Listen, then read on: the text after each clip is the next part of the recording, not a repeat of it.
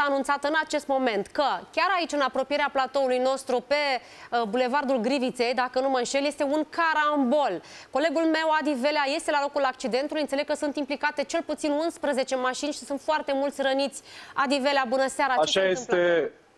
Bună seara, Mirela, bună seara, dragi telespectatori. Așa este, este un uh, carambol provocat de un șofer care s-a făcut rău în timp ce circula cu mașina pe calea Griviței Uh, sunt mai multe mașini accidentate aici, uh, au venit uh, foarte multe ambulanțe care au și plecat între timp. La spital a ajuns doar șoferul care a provocat accidentul. Ceilalți au primit îngrijiri la fața locului. Sunt peste 10 mașini care sunt lovite. Practic, o să, o să vă arăt chiar acum. Lângă mine este Cristi, o să-l auziți și pe el imediat. El este unul din șoferii uh, care a trecut prin întâmplarea asta nefericită. A fost lovit de mașina uh, respectivului șofer care i s-a făcut rău.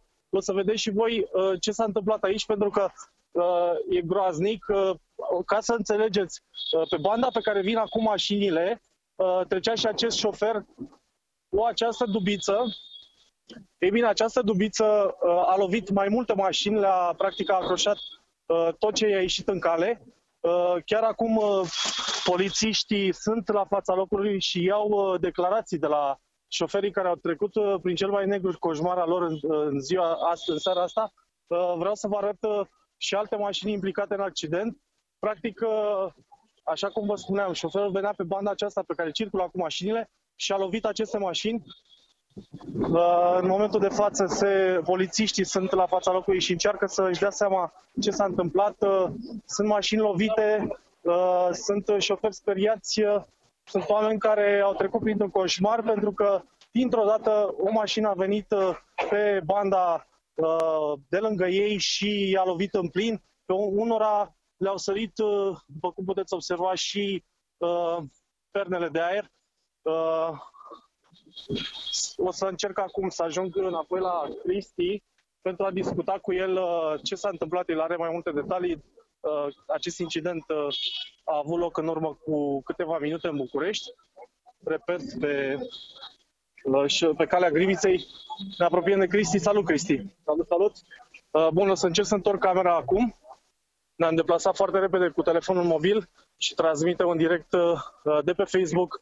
Uh, te rog să ne spui ce s-a întâmplat. Tu conduci o, o mașină care este situată în fața noastră, practic lucrezi la o instituție da, care asigură servicii de internet, nu o să arătăm mașina... Da, de internet și de telefonie. Și Așa, ce s-a întâmplat? Doar staționam, am văzut în oglindă o lumină foarte puternică, m-am uitat în oglindă, nici n-am apucat să văd în oglindă că a, m-a luat din plin pe mine, am văzut doar în față că s-au oprit în, celelalte, s-au oprit în celelalte mașini, 3-4 mașini, a făcut carambol, am ieșit repede din mașină, am încercat să-l scot de acolo, am oprit motorul că omul se făcuse atac, făcuse ceva și efectiv deci, nu, clar că i-a venit rău. Da, nu mai era conștient. El mi-a declarat că a vomitat chiar sânge. Imediat a venit foarte repede. Ajungem chiar acum uh, la mașina cu pricina? Da, am băgat uh, repede mâna pe geam. Deci tu ai, tu ai fost primul care a sosit da, aici? Da, da, eu am fost El era în, la... Uh, lângă volan? Da, îi rămăsese picioarele, piciorul a blocat pe accelerație și pe ambreiaj, ieșise de, de sub mașină și am intrat repede peste el.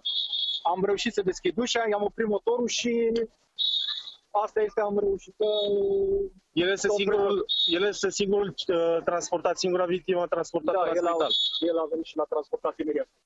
Am înțeles. Uh, da, uh, așa ceva se întâmplă foarte rar în capitală. Nu ne dorim uh, să vedem așa ceva pe șoselele noastre, însă, uh, din nefericire, există posibilitatea ca un șofer la un moment dat să îi se facă rău și să ajungă să creeze aceste nenorociri. Uh, este un trafic infernal acum, uh, este și o oră foarte grea.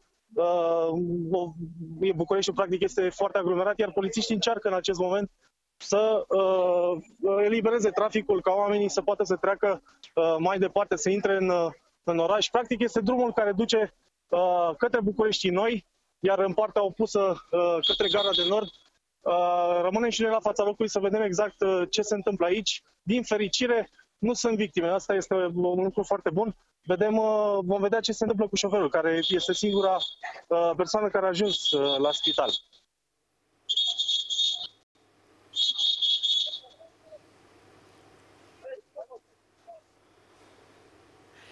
Da, Adrian, ne uităm aici, este, e clar că va fi blocată toată aria asta, toată partea asta a Bucureștiului. Uh, Da, dar am înțeles bine, un șofer căruia i s-a făcut rău în trafic, efectiv, fără vreo culpă, i s-a făcut rău, uh, probabil că atunci a ricoșat toată mașina la aglomerația asta, la oră de vârf, toate celelalte mașini s-au tamponat și sunt foarte mulți răniți. E o chestiune uh, care se întâmplă, din păcate, foarte frecvent pe, pe șoselele din România.